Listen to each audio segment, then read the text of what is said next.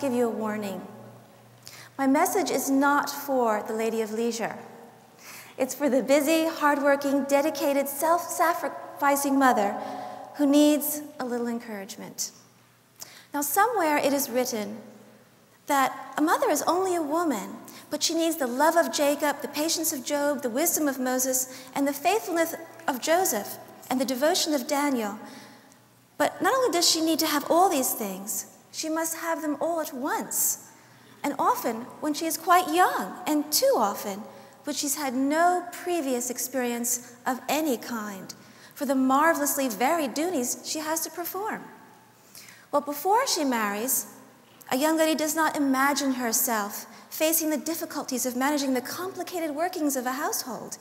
Untried responsibilities come upon her as soon as she does marry. And perhaps, just as she is grasping the situation, her first child is born and fills her whole heart. Then, not only her own health, but that of another's depends on how she manages her life. The question of child training and how to bring up children becomes a new study and a practical concern. And then another child is born who eventually becomes a sunny companion for the first. But it seems that with each passing year, a mother's job description is revised. The desire for her husband's love and friendship is still strong, but a careful division of her attention is given over to the various aspects of maintaining a happy and well managed home. Time alone with her husband now seems to have to be either previously planned moments or stolen ones. There are holiday celebrations to arrange, extended family parties and visits, church functions, occasions for neighborly hospitality, etc. And in the center of it all is one little woman. As the children approach their years of more formal education, then there's the organization of the homeschool. And thus she walks over new ground again. Is it a wonder a homeschool mother feels overwhelmed? She wears herself out in her efforts to be dietitian, laundress, hostess, taxi driver, teacher, wife, mother. She forgets that she needs a little time for herself. And it is then that she stops growing spiritually and mentally. Physically, she feels ragged and drags through the day until, without being able to mark the hour it began, she lives with depression. Her mind is a drifting fog when she wants it to think clearly and efficiently. And with the distractions of her multifaceted duties, she's unable to follow a train of thought. She considers herself hopelessly behind in everything. Her feet are in the quagmire, and it takes an incredible amount of effort to keep up appearances. You know, to wear that winsome countenance that all the heroines do in all of Jane Austen's novels. If I hadn't experienced these symptoms myself, I wouldn't be standing here today speaking to you. Therefore, I can emphasize and validate the need for what I call mother culture. Mommy, Ma, Ma, Ma, Mama. Can you remember how heartwarming it was when your first child said your name? Try to think back. in so many languages in the world, mother starts with the letter M be it Chinese, French, German, Italian, Norwegian, Russian, or Hindi. And probably at every moment of the day, all over the world, some child is calling out mother. And I remember one particular week that my husband was away on a business trip. My children were all small then. And at the end of that week, I caught myself telling one of my children, Ooh, don't say that. Don't say what, mommy? I almost said, Don't say my name. But it was then that I decided to teach my children to use the word daddy more often. Some mothers say, I have no time for myself. Others, I don't think it's right to think of myself. Well, such mothers are stuck in a rut of self sacrifice to the extent that they're starving themselves, spiritually, mentally, and consequently emotionally. Their children will grow up and eventually carry the attitude that they know more than mother on all points. But a fresh wind of change will revive you when you participate in what I call mother culture. The only way to make room for mother culture is to be so deeply impressed with the necessity of growing that we make it an aim in life. Now, Nancy Reagan said something like this Women are like tea bags. You know how strong they are when they get into hot water. Maybe homeschool is hot water for you. How can we women be strong through trying circumstances? Well, this is one thing I found to be true. God blesses us with his strength if we take some time in renewing our minds and if we pray. I like to use Sunday as a day to build spiritual stamina. It's a day set apart for me to look forward to being nearer to God. I like to take long walks, perhaps, and look at God's creation. A little Mary was four years old and she was busy ironing her doll's new dress on a Sunday afternoon. And her older sister walked in on her. Mary, what are you doing? You know that it's a sin to work on the Lord's day. Well, Mary looked up calmly and she answered, It's okay. God knows this iron isn't hot. she was playing, not working. Now, I know that you could use Sunday afternoon to get a pile of laundry done, or go shopping at the mall, or make some money at your home business. We women have strong urges to survive and to prosper, to have money and to deal with problems and to be productive. David F. Ford, in his book, The Shape of Living, says this quote, None of these things are wrong, but just because they are so basic and good, they can become idols, absorbing all our time and energy. The Sabbath interrupts this idolatry and challenges whatever other than God that threatens to dominate our time. Unquote. So you see, it is very right to find time for yourself, for a little play and recreation, for spiritual renewal, especially when so many others depend on you. Now, have you noticed that homeschooling stretches you when much is expected of you and you rise to the occasion, you grow. So it's not just your children that grow in homeschooling, it's you. Homeschooling deepens your character and it adds to your personality. Homeschooling is good for you.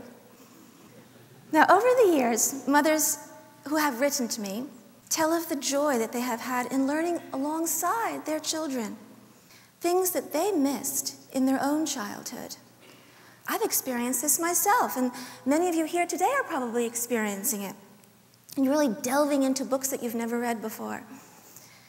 Well, this is something, and it's a good something, but it's not enough. Let us not miss taking just a little time for ourselves.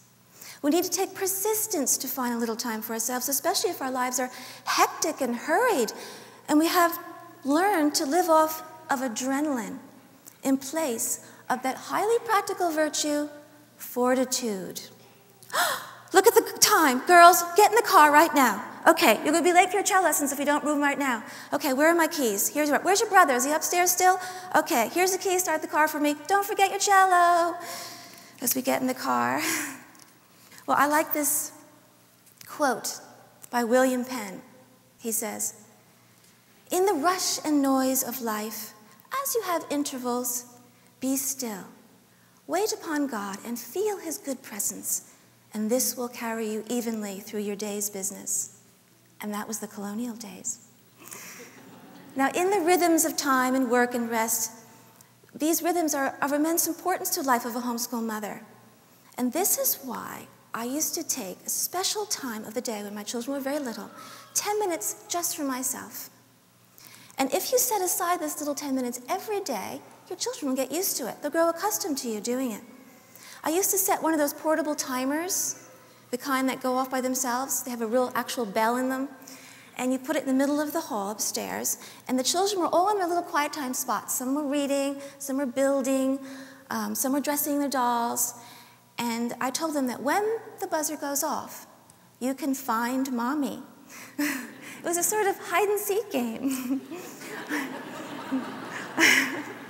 I first said it for 10 minutes, but then over time, you just do it a little longer, a little longer.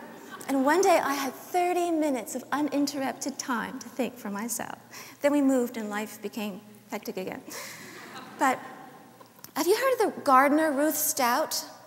Well, she talked about living in Kansas as one of six children. And in the winters, the house was pretty cold except near the only source of heat, which was a fire in the wood stove. And after supper, dishes were washed. Her mother would take 20 minutes to read by the fire every night without fail. She couldn't go off to the privacy of her bedroom because it was way too cold in there. So she sat with her family all around her. But to teach her little ones not to interrupt her, she would keep a bowl of cold water and a washcloth beside her. And when a child came up to ask her a question, she'd say, Come a little closer, honey. You've got dirt on your face. Let me wash it for you. and the children soon learned to keep their distance just for that 20 minutes. now, the habit of grown ups reading what Charlotte Mason called living books and retaining the power to digest them will be lost if we refuse to give just a little time for mother culture. A wise woman and admired mother and wife, when asked how, with her weak physical health and many demands upon her time, managed to read so much, she said, Well, besides my Bible, I always keep three books by my bedside that I'd like to read. But I just pick up the one I feel fit for. The three different books one might be a really meaty book of sermons, another one might be a book of poetry, another one might be a little novel. But whatever you feel fit for, pick it up just for 15 minutes. Because that's the secret. The secret is to always have something to grow by and to keep it handy. This is not a selfish thing to do because the advantage does not end with yourself. An old countryman said, Whatever's down in the well is going to come up in the bucket. So let's not let the water in our wells grow stagnant or, be, or freeze over, because we mothers will make trouble for ourselves later on in life by shutting up our minds in the present. We need to make mother culture a habit. We should continually take our minds out of the laundry bag of perplexities and give our minds some fresh soaking in what keeps it growing. So, mother culture is living the educational life with our children and enjoying it, but it's also learning alongside of them. Well, why not have a shelf of mommy's books? Let the family listen to mommy's music occasionally, or watch mom and dad play mommy's game of badminton or croquet. You know, those low impact sports, the ones you can play in a dress if you really wanted to. Well, perhaps you visited my book table and you may have wondered why there's this funny little odd pile of mittens sitting there. Well, I brought them there for your sake because knitting steadies my nerves and it gives me that satisfying feeling that I've made something. So if I'm boastful about my mittens at this conference, it's for your sake. It's to give you a reminder that you too can take a little time to be creative. Some mothers like to weave, sew, quilt, spin, paint pictures, make a nature diary, uh, do greeting cards. And when they do, their children will look up to their creativity. Well, let's look at another aspect of mother culture. A few years ago, I was asked to give a talk at a mother daughter tea party. And when I wrote down some ideas for the talk, this song came to mind that I must have heard sometime during my growing up. It's, it was called I Enjoy Being a Girl. And while the girl is singing it, the sky is blue above her, and the, there's a warm breeze blowing in her hair and in her summer dress. I, I'm pretty sure that in the musical she was wearing a dress, or maybe that was Oklahoma. Anyway, I don't think the song would have had the same effect if she was wearing a very tight pair of blue jeans. Do you?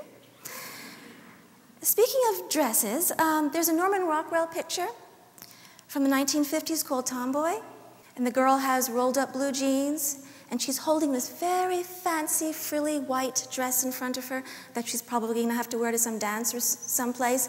And the look on her face is just one of, how am I going to do this? And the sad thing is that I think this is what many girls feel when they're wearing just an ordinary skirt or just an ordinary dress, something that doesn't even have laces, ruffles, or bows. I think it's a pity that girls have to feel that they're getting dressed up just because they're wearing something other than blue jeans and a t shirt. Now, my son read the story Swiss Family Robinson. You're probably familiar with it. It's this delightful children's classic about a family that is shipwrecked on a tropical island. There are four boys in the family Hans, Fritz, Jack, and Ernest. My son was very impressed with the father, who happens to be incredibly knowledgeable about survival, utilizing all the natural resources of the island for his family's comfort. His resourcefulness is actually comical. Now, the mother is also industrious. She cares for her family. But here's something interesting to note she is the only example her sons have of femininity on the island. So I asked myself, am I a good example of femininity to my son as well as my daughters? I'm not the only adult female in their lives, but I am the most influential. Now, to be feminine may not mean we ladies need to throw away all our blue jeans. That's not what I'm saying. I own a pair myself. Um, and my girls wear them when they ride horses, go sledding in the snow, and snowshoeing in Maine and things like that. And I, you know, I tried shoveling out the chicken coop one time during mud season in a long blue jean skirt, and it was not a good idea. Something that, could that I could have tucked into my Wellington boots would have been a much better choice. but how did we women get to wearing blue jeans for almost every occasion? I've been trying to wean myself off the things for years. And I've had to consciously tell myself, no, you can wear a skirt today. So here's my question Do you and your daughters enjoy being a girl? Here in America, gender neutrality makes the distinctive roles of male and female more and more blurred. Young people are growing up with a vague idea of what it means to be masculine or feminine. We can even go as far as saying that the modern world is robbing women of their femininity. Is it a wonder that so many women are depressed? Now, I know I'm walking on thin ice when I mention this next word husbands. Husbands, I'll say it louder. but I do have good things to say. And I'll only ruffle just a few feathers, I think, a few more feathers. For almost 50 years, men have been belittled. The dad in the Berenstain Bear family is only one of the many laughable dads portrayed in today's society. He's cute, though. Mother bears have it all together. Indeed, it is the fashion for a man to act less manly. It is the acceptable norm. When was the last time that the average man on the street opened a door for you or tipped his hat to you? I had a, an older man do it to me mm, about 10 years ago. He's probably a World War II veteran, and it felt so nice. But it hasn't been done since. I think it was the only time it ever happened to me. We Christian women are sometimes drawn in by worldly influences to think that it is our right to be independent of these silly men. The Mary Tyler Moore Show, way back in the 70s, I was brought up with that, was just one television sitcom that celebrated the independent woman. She may live in a man's world, but who needs men? On the contrary, if we read the Word of God, we find that the one was made for the other. The old 1950s expression, who wears the pants in your family, or who's the boss, barely is even understood today because everybody wears the pants, so to speak, and everybody does what he likes. But this does not follow God's design. Are you familiar with that musical My Fair Lady? In it, Professor Higgins sings a song of frustration. Let a woman in your life, he says, and your serenity is through. Shall we decorate your home from the cellar to the dome and then go on to the enthralling fun of overhauling you? Let a woman in your life, and you invite internal strife. She will beg you for advice.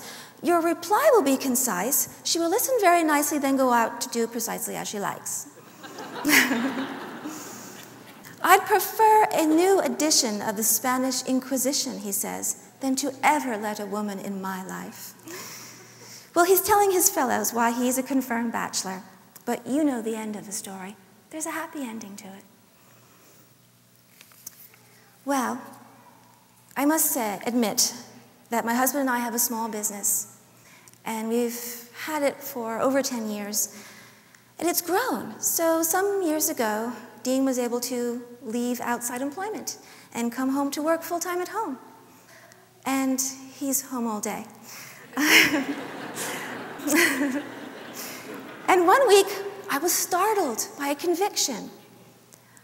I realized that I was asking my husband to do far more things than I would ever dream of asking him to do. Now, I may have a soft voice, but a voice still it is.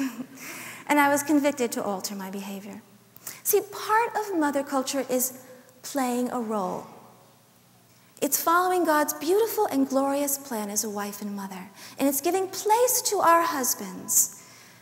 They are the head of the family. He is to wear the pants in the family, and being ladylike is part of being the person that God has designed us to be.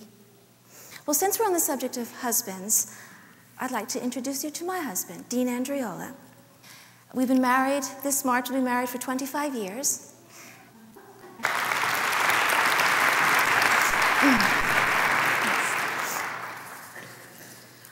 Here's another thought about mother culture. My son Nigel asked me the other day, Ma, what's the lowest paying job? now, at first I told him it was the occupation of making french fries at a fast food restaurant. And then I thought a moment longer, it only took a moment, and I said, But I know of lo- a lower paying job than that. What is it? He said, You're looking at it. now, a homemaker and a homeschool mother has many jobs and no salary for any of them. She is a servant, and she is an amateur. Now, here today, we probably have a whole room full of amateurs. But the word amateur doesn't have the opposite meaning of professional. In fact, the meaning of amateur is a wonderful one. Because inside the word amateur is another little word, amour. Now, as I happen to be married to an Italian, I know that amour is amore, and amore means love. So, an amateur does something for the love of it.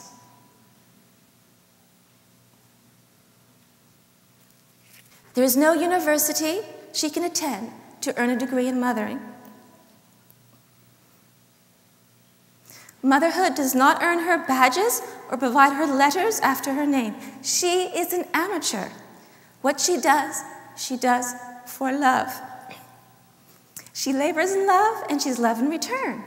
It is a high calling, and this is her blessed vocation. And without this vocation, the world would suffer.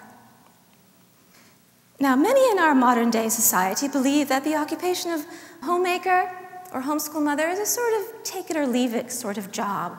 It's something that uh, she does when she's not successful at doing anything else.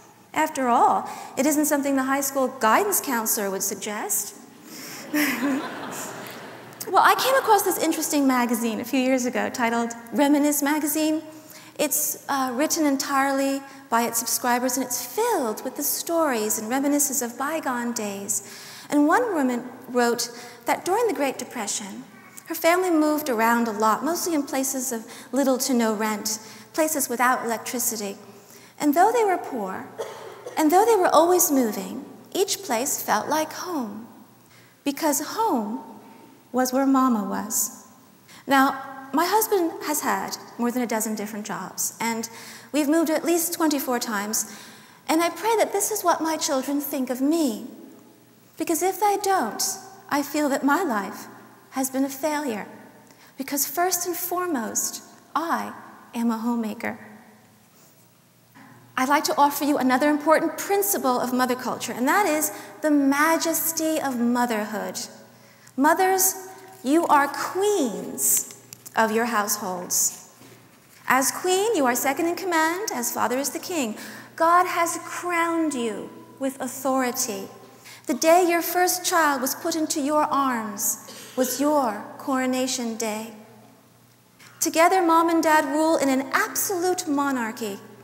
It's a big responsibility to be queen. And it's been said that heavy is the head that wears a crown. Perhaps that's why so many parents today have abdicated the throne of parenthood and are allowing the state or others to raise their children. Or they just let their children do what they think is best in their own eyes. But on the contrary, we homeschooling parents have taken on this responsibility.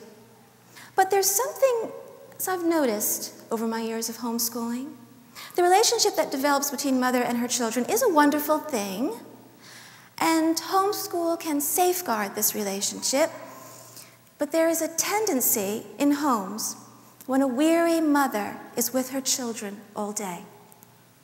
In her weariness, she may give in to too many of their whims and wants. She has very difficult time saying no to her children without feeling that it's somehow unjust. And it is then that the homeschool becomes democratic. In a democratic society, everyone's on equal terms. We're kind of used to that in America.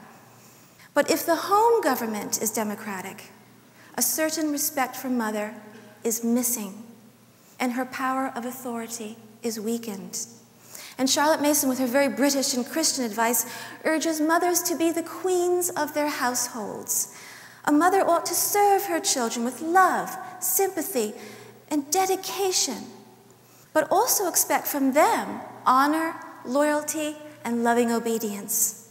With this training, your children can be led to more easily respect, honor, and obey the King of Kings.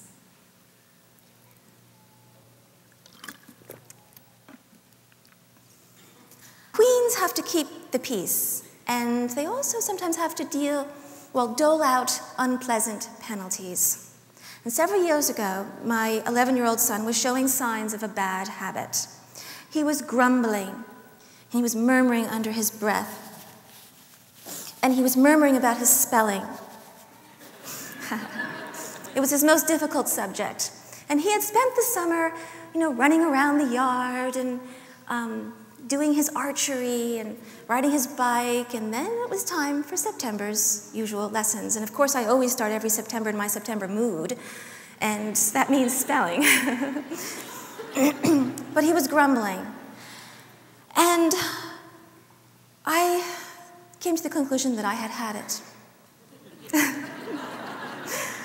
and telling him every day not to complain wasn't working.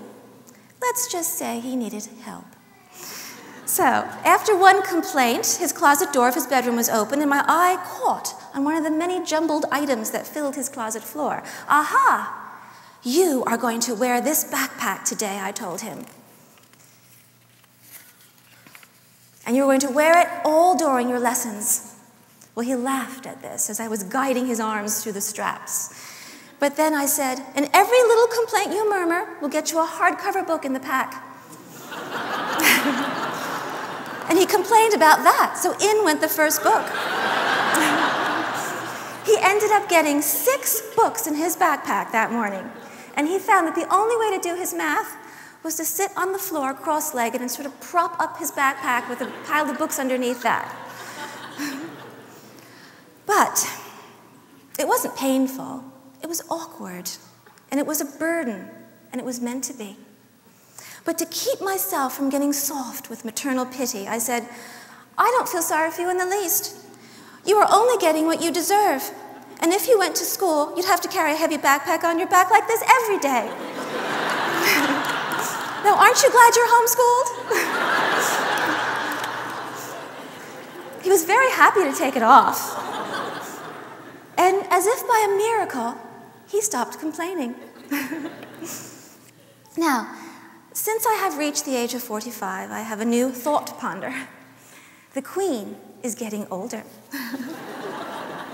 Her children are getting much bigger, too. and I have to, you know, remind myself to keep taking that royal jelly. You know, they, have, they sell the health food stores. That's the stuff that they only feed to the queen bee in the hive, you know. That, uh, it's good stuff. The queen must practice growing older gracefully. Three years ago, I was shopping in a mall. And as soon as I pulled the dressing room thing closed, a wave of pessimism came over me. And I heard a woman in the dressing room beside me sighing piteously. And then there was another woman who was saying, Why am I here? I hate swimsuit season. and her friend in the cubicle beside her, I'm, I'm very much an eavesdropper, I'm sorry. her friend in the cubicle said, Hmm, slenderizing French cut. I won't be fooled. I know that exposing 90% more of my thighs isn't going to make me look slimmer. Who do these fashion designers think they are, anyway?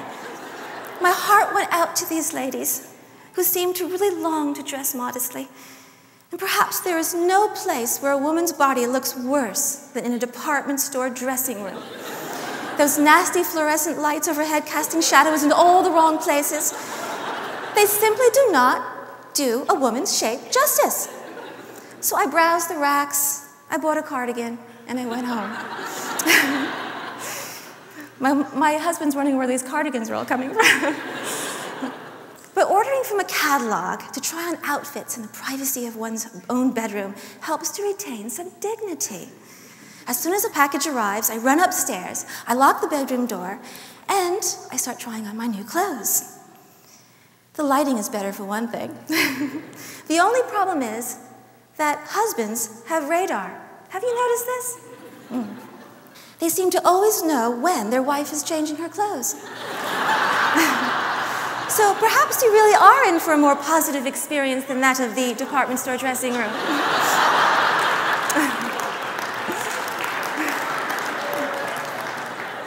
now, I believe that every woman ought to keep herself in good health. You've got to keep active, you've got to exercise, but not to be obsessed with trying to look as slim as a clothes catalog model. This can only lead to discontent. So why not replace discontent with dignity? That's what I'm trying to get at. Because the truth is, a good queen, though she becomes somewhat wrinkled and round, will always be adored. Now, if you're a medical doctor or an aerobics instructor here, um, you might not like what I'm going to say next. it's that, in my opinion, all mothers ought to be at least 10 pounds overweight. How else do we give our children and husband a decent hug? But wives and mothers are meant to be cushiony and cuddlesome. And chances are, what you like least about your figure is the very same thing your husband most appreciates when nobody else is around. it's getting hot in here. now, my husband used to joke and call the um, skin cream oil of Olay the oil of old lady. and no matter how many creams I use on my face, the wrinkles are still forming around my eyes, especially when I smile. But I read something encouraging on a refrigerator magnet you gotta get it wherever you can find it, you know? Wrinkles give stronger emphasis to our joy the older we get. You know, Sophia Loren, that gorgeous Italian actress, she had her children, children much later in life. And she said, My children would not like me to have a facelift. Well, of course, now it's the Botox thing. But they say, Oh, mommy, don't change. You're so beautiful. And you will always be so beautiful. So, she says, I feel very well in my skin. Because Sophia Loren understands true beauty, and that is the beauty of the person that we're talking about. Agatha Christie, who was homeschooled, and I've been reading her autobiography, and I've read half a dozen of her mystery novels. She was married later in life to an archaeologist, and she said, An archaeologist is the best husband any woman could have. the older she gets, the more interesting he, interested he is.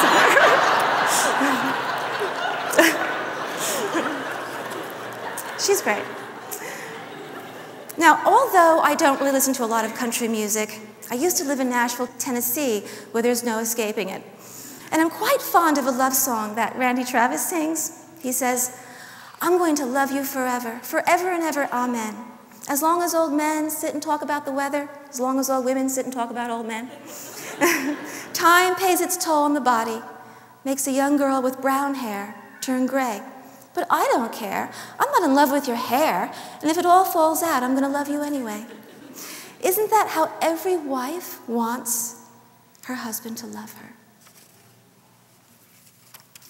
The word person is something I'd like you to think about. King David in the Psalms proclaims, His wonder of God, you knit me together in my mother's womb.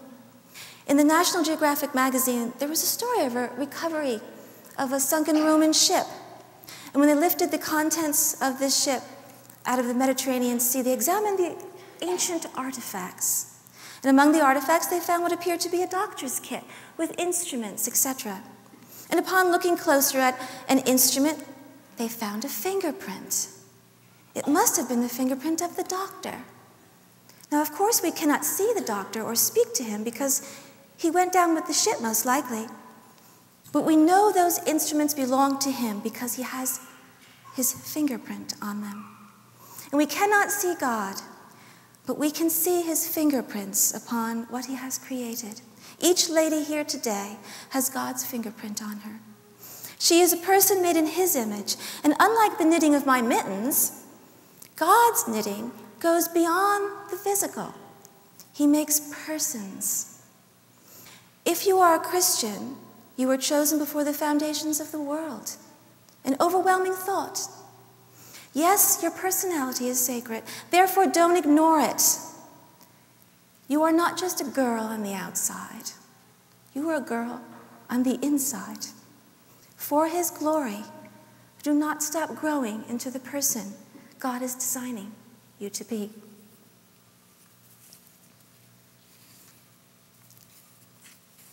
Well, I've tried to offer you a variety of reasons to take part in mother culture. To safeguard your enthusiasm for the big job that you have to do, homeschooling. And mother culture will safeguard this for you. See, enthusiasm is needed for this high office of motherhood. It's an old Greek word, actually, this word enthusiasm. It's en means in, and theos means God. So to the ancient Greeks, and the en theos means in God. And all those who are enthusiastic were in God. And as Christians, we know the one true God with a big letter G. And to take part in mother culture will keep you en theos. And it will help you from drifting into depression and despair. I am convinced that we homeschool moms can be strong, even in hot water. With the help of the Holy Spirit, we can be a potent cup of tea. And we can say, My cup runneth over. It runneth over into our families. It was about 10 years ago that I read a quote by Billy Graham that got me started on this whole concept of mother culture. And I'm going to end my talk with this quote by Billy Graham. He said, Mothers should cultivate their souls so that in turn they may cultivate the souls of their children. If we would do the best for our children and our husbands, grow we must. Our growth depends not only on our future happiness, but our future usefulness as well. That's all. Thank you.